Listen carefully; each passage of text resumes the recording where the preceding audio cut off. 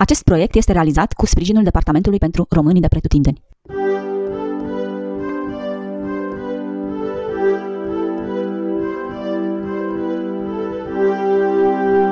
Bună ziua, dragii mei, și bine ați venit la întâlnirea cu Călători în Timp. Astăzi e rândul altui jurnalist să intre în mașina timpului. Iată pe scurt formatul show-ului nostru. După cum știți, folosim un portal care trimite jurnaliștii noștri în trecut să ne aducă vești de acolo, din acel timp și de la fața locului.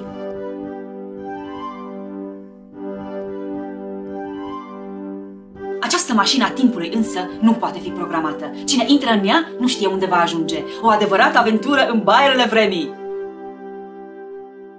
Dar să vi prezint pe invitații noștri. Și avem printre noi pe jurnaliștii Lucas! Dorian! Carla! Și Cezara! Și actorii noștri Mike, Melissa, Sabina, Adelina, Cezara, Andreea, David, Larisa și Dorian! Aplauze furtunoase! Cel care stă în fața ei va fi absorbit și trimis în trecut, de unde va veni cu istorisiri, credem noi, interesante. Atenție!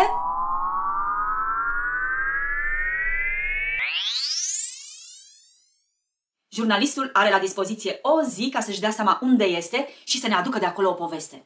Pentru noi, această zi este mai puțin decât un minut. Adică atât durează până vă explic eu toate astea și începe numărătoarea inversă pentru întoarcerea din portal.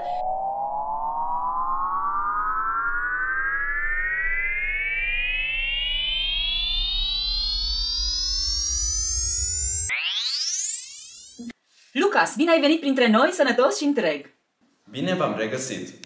Când am ieșit din portal, mi-a spus, vai de capul meu, cred că am ajuns într-un film de groază. Eram pe drum și de parte și de alta a drumului, soldații otomani trași în țeapă. Nu vă descriu mai mult că e înfrăierător. Am mers pe drumul lui ăsta de groază până am ajuns într-un sat. M-am dus la fântână din mijlocul satului, că îmi era tare sete și am băut apă. Pe marginea fântânii era o pungă de piele. Am luat-o, am desfăcut-o și în ea erau câțiva bani de aur. Să invităm actorii în scenă să întruchipeze personajele aduse de Lucas din călătoria sa în timp. Aici sunt textele pe care urmează să le citiți. Ne închipuim că suntem într-un sat din țara românească. Cărătorul din viitor este surprins lângă fântână cu punga de bani în mână. Când m-au văzut cu punga în mână, sătenii mi-au strigat Nu pune mâna! Pune-o jos imediat dacă vrei să mai ai mâna aia. În țara noastră nimeni nu pune mâna pe ceea ce nu e a lui. Că dacă pune din porunca lui Drăculia, îi se taie mâna jos. Brr, dar cine e Dracula asta? Dracula? Vampirul? Se vede că nu ești pe aici. E domnitorul nostru, Vlad. Zis și Draculea că era fiul dracului. Domnul țării românești. Brr, dracul, dracul? Așa îl chema pe taică său, Vlad al doilea, zis Dracul. Era cavaler în Ordinul Dragonului. În latină dragonului îi se spune draco, de acolo i s-a tras porecla de dracul. Scopul Ordinului Dragonului era o cruciadă împotriva păgânilor, adică a celor care nu erau de religie creștină. Noi astăzi credem că există loc pe pământ pentru toate credințele. I-ați văzut pe dușmani cum sunt înșiruiți pe marginea drumului, trași în țepe, strașnic om, Vlad Drăculea. Dar de atacul de noapte ați auzit?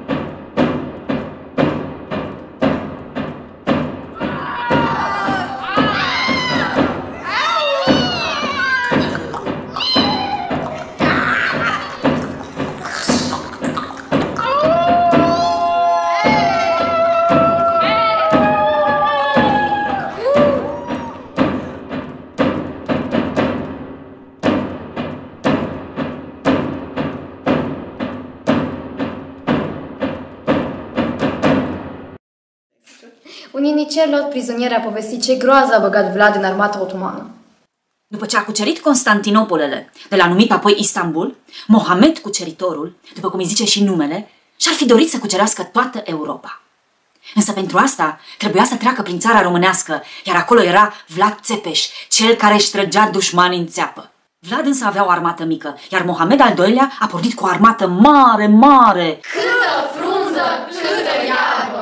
Ca să-i poată învinge, valahii trebuiau să fie buni strategi. Ce strategii de război se foloseau în timpurile acelea? Aveți vreo idee? Ce ați face voi dacă ați avea o armată mică și ar urma să fiți atacați de o armată mult mai mare decât a voastră? Ce strategii ați folosit? Opriți video și scrieți repede niște strategii de luptă pe care le-ați fi folosit voi, iar eu am să vă spun ce a făcut Vlad, ce se făcea pe vremea aceea.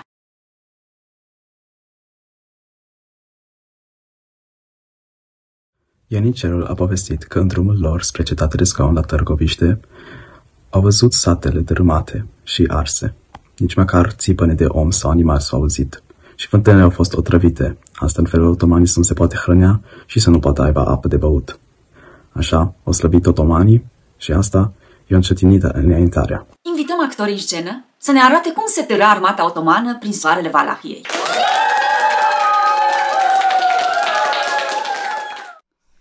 Era cald, foarte cald. Armata otomană se mișca cu greu sub soarele istovitor al Valahiei. Le era foame, sete, erau istoviți. Drumul până la Târgoviște era lung și greu. O fântână, o fântână! Erau însetați au început să bea apă, ca cel care a băut primul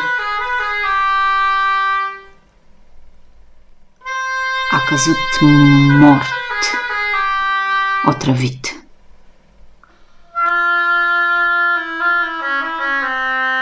Știau că nu mai puteau să bea apă de nicăieri. Și-au îngropat morții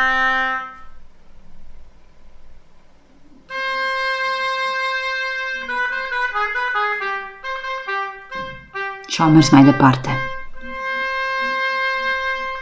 Trebuiau să fie foarte atenți, de oriunde puteau fi atacați.